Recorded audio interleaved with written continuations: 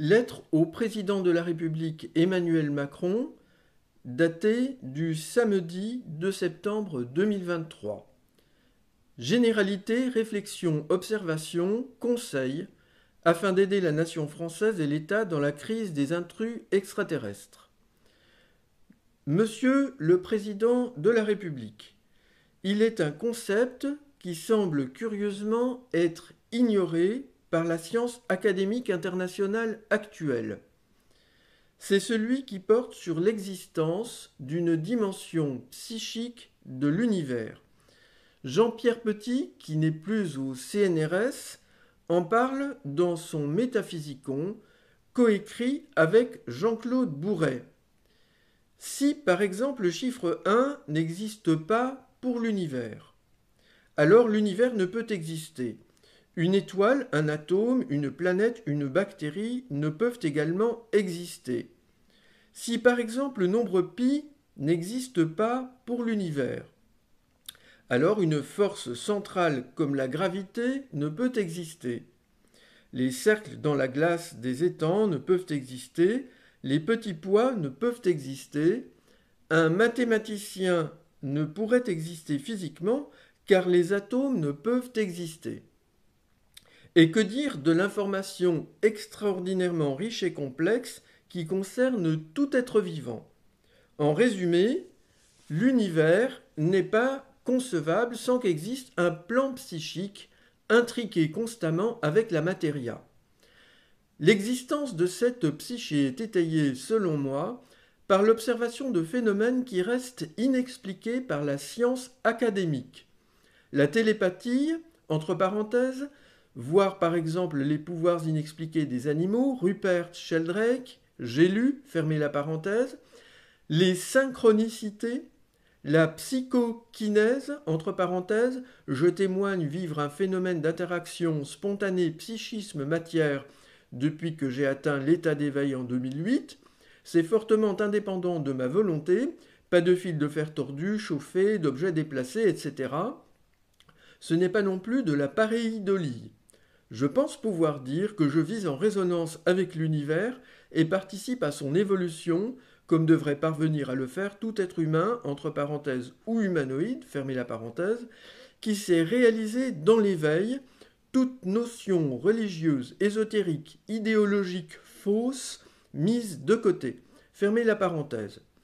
Des rencontres à forte résonance avec le monde intérieur, entre parenthèses correspondance d'âme à âme, fermez la parenthèse.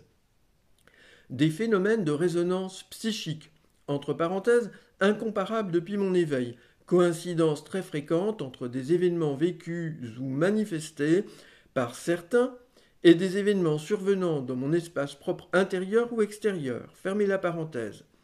Des phénomènes poltergeist, des phénomènes d'emprise ou possession par une présence invisible, des phénomènes rapportés de bilocation et translocation, des phénomènes de guérison miraculeuse, entre parenthèses, voir par exemple les cas avec maître Philippe de Lyon, ce qui ne cautionne en rien sa religion. D'ailleurs, il était prosélyte avec des patients. Fermez la parenthèse.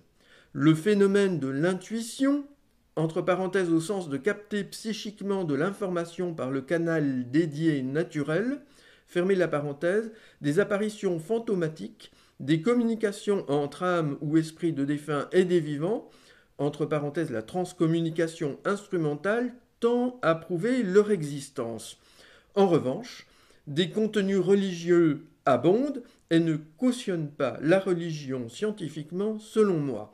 Fermez la parenthèse des visions soudaines du passé, entre parenthèses âme réincarnée, fermez la parenthèse, des visions d'événements futurs, etc.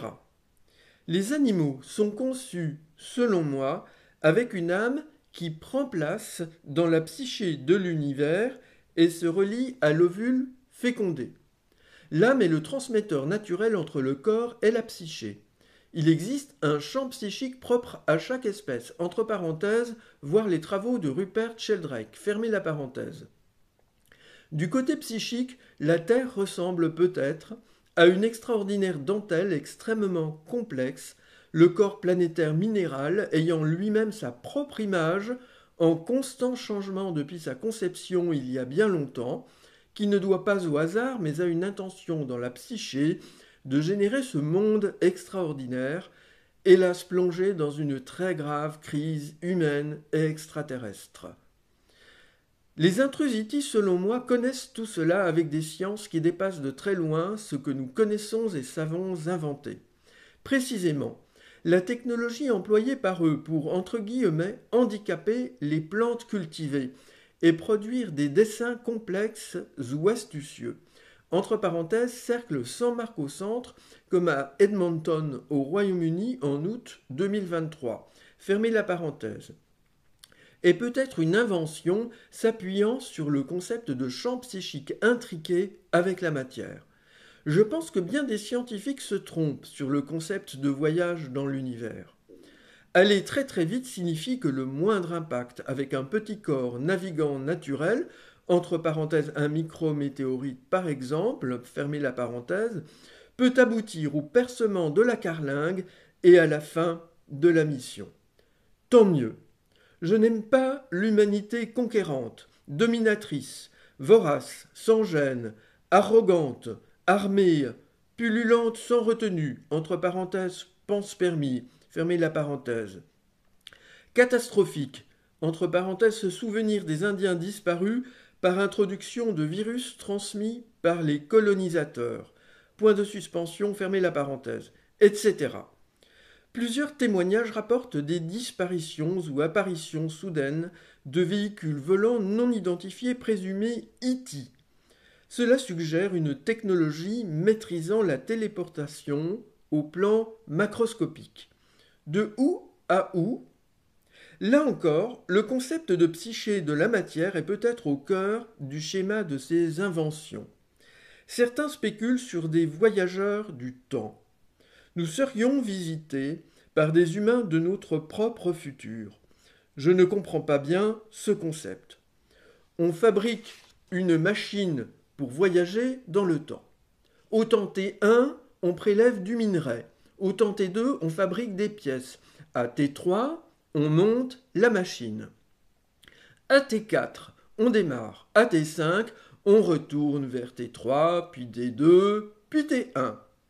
Aller dans le passé serait équivalent à déconstruire le vaisseau. Pour le futur, à par exemple T6 plus 50 000 ans, la machine s'est usée ou est tombée en panne, ou un accident ou incident est survenu en raison d'un changement important dans son environnement. Et je ne parle pas des occupants éventuels. Point de suspension.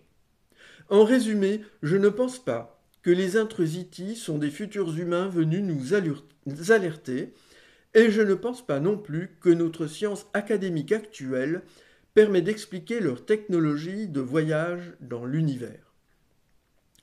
Là toujours, je préfère envisager des technologies conçues autour de la notion d'une psyché de l'univers. Chaque chose, le mot chose entre, entre guillemets, a une image dans cette psyché. Si l'on suppose un moyen technologique permettant de transformer ou réduire, ou autre, entre parenthèses, fermez la parenthèse, une chose donnée en son image psychique, image psychique entre guillemets. Alors, si l'on connaît en outre la manière de communiquer entre les images de deux mondes éloignés qui coexistent dans le temps universel de la psyché, alors on peut envisager de déplacer la chose par son image d'un monde à l'autre.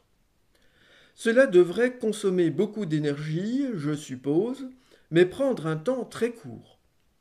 Voilà pourquoi je suis très inquiet.